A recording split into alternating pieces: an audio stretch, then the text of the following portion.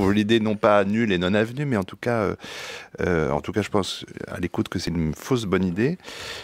C'est pas une fausse bonne idée, c'est une vraie mauvaise idée. de toute façon, pour s'attaquer au Velvet Underground, il faut être soit idiot, soit inconscient il ne faut pas reprendre le Velvet Underground, c'est tout.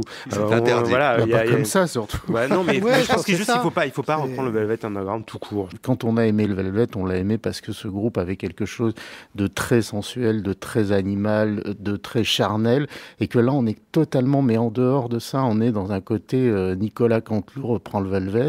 avec euh, euh, tout ce côté professoral de, de Rodolphe Burger qui depuis 25 ou 30 ans maintenant fait le prof de philo, qui fait du rock. C'est insupportable. Je ne savais pas euh, ce qu'il avait dit à propos du rock, mais je trouve que ça symbolise vraiment hmm. cette démarche d'un type qui est certes sans doute estimable, parce qu'il a tellement d'amis en même temps qu'on peut pas tellement dire du mal, mais euh, qui, moi, m'ennuie profondément depuis euh, Katonoma. Il faut voir quand même que Katonoma a été une parodie du Velvet au début, puis qu'à un moment, comme ils étaient signés sur une grosse maison de disques EMI, on leur a dit ce serait bien de faire du quota, donc de chanter en hmm. français.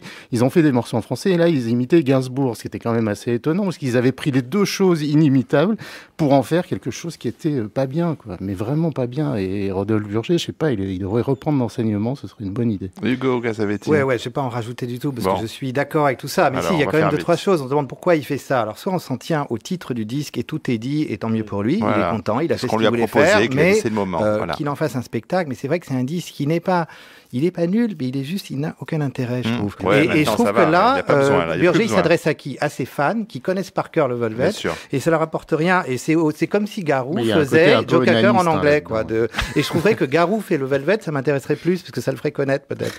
Bon, bah écoutez, voilà, on, va pas plus loin sur ce disque de Rodolphe Burger.